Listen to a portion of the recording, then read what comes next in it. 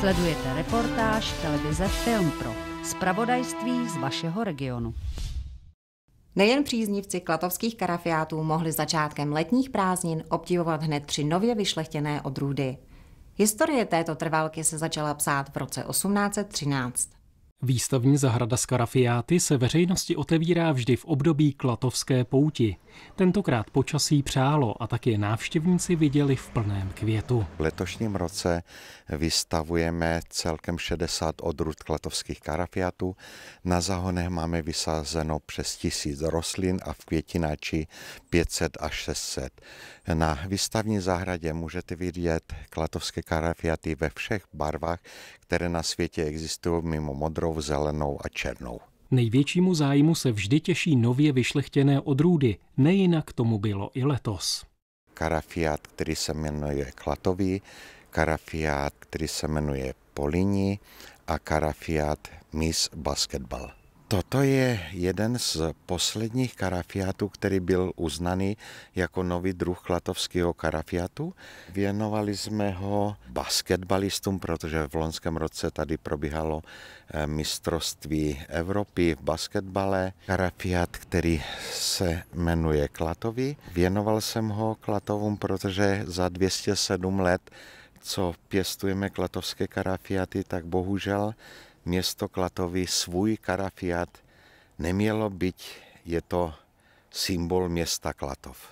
Karafiátek, který je nový, eh, ten byl věnovaný městu Políni. Vzhledem k tomu, že město je naše partnerské město, tak jsme ho věnovali a nebyl to jenom ten důvod, ale původ vlastně našeho klatovského karafiatu pochází z Francie, tak jsem považoval za takové vstřícné francouzům něco vrátit, tak jsme jim vrátili aspoň pojmenovaním jednoho z měst z Francie. Klatovský karafiát mimo to, že je barevně nádherný, má taky krásnou vůni. Vůně je po skožici a hřebičku. Šlechtění klatovských karafiátů není náročné na fyzickou práci, ale je náročné na časové období. V podstatě, pokud chceme, aby klatovský karafiát byl uznán jako nový druh klatovského karafiátu, tak to trvá minimálně 5 až 7 let, většinou 7 let. V prvním roce získáme pouze semínko. To semínko se nachází vždycky v tom květu klatovského karafiátu. V druhém roce vyroste pouze 10 cm sazenička.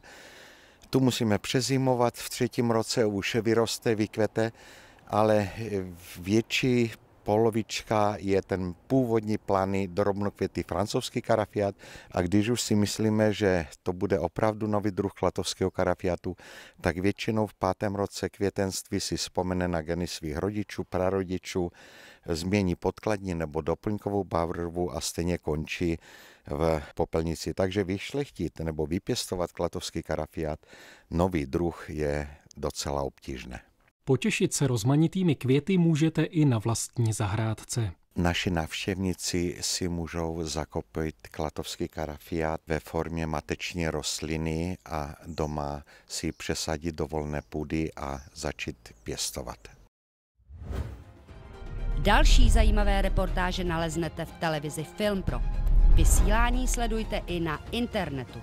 Nenechte si od nikoho kecat do svého života. A plňte si občas nějaký sen, když je třeba úplně malilinkatej, ale je třeba tady to dělat. Kultura, sport, zábava a dokumentární filmy. To je regionální televize Film Pro. 24 hodin denně. Zprávy od Plzně jihu až po Šumavu. Já bych popřál televizi film pro klatovští diváci, aby se na ní rádi a intenzivně dívali. www.filmpro.cz